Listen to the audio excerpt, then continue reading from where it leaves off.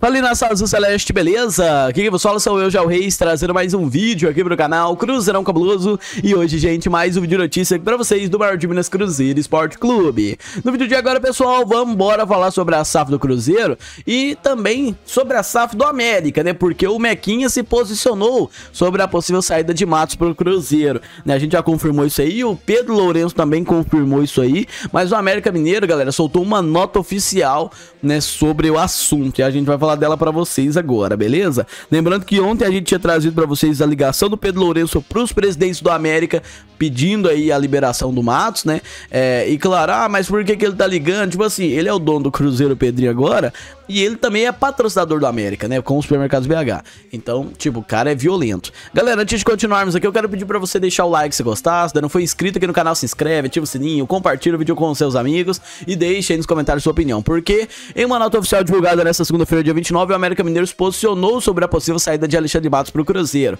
Não é possível, é pouco porque já tá fechado e foi até anunciado pelo Pedrinho. Né? Anunciado como novo diretor executivo do Coelho em 17 de abril, Matos é o nome mais cotado para assumir o cargo alto na diretoria celeste assim que for concluída a venda da SAF da Raposa, como mostrou a ESPN, né? E a gente aqui no no último domingo e no último sábado, né?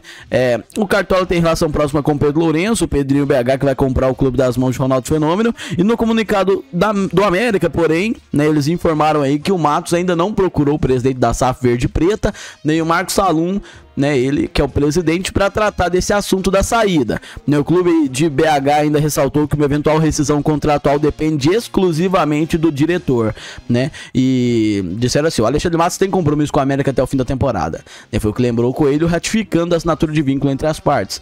A passagem mais marcante de Matos pelo Cruzeiro aconteceu entre 2012 e 2014 com a conquista de vários grandes títulos e agora ele chegaria a Raposa para a vaga do ex-zagueiro Paulo André, que vinha exercendo a função de diretor de futebol desde a saída de Pedro Pedro Martins pro Vasco, né?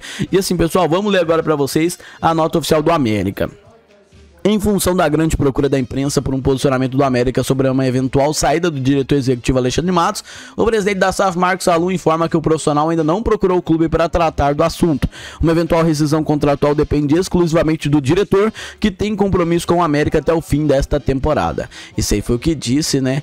É, o a fala aí do América, né, no, na sua nota oficial. Lembrando para vocês, pessoal, pelo que deu a entender, o América meio que disse assim, ó, ah, se ele quiser, ele pode ir, porque, tipo assim, tá no contrato lá, se pai, ele não tem que pagar multa nem nada, né? Foi o que deu a entender.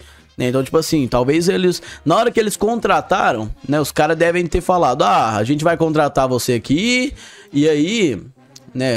Aí lá, ah, mas para mim o América se eu receber uma proposta de uma série A e etc, aí, aí não tem multa, né? Ele pode sair se quiser.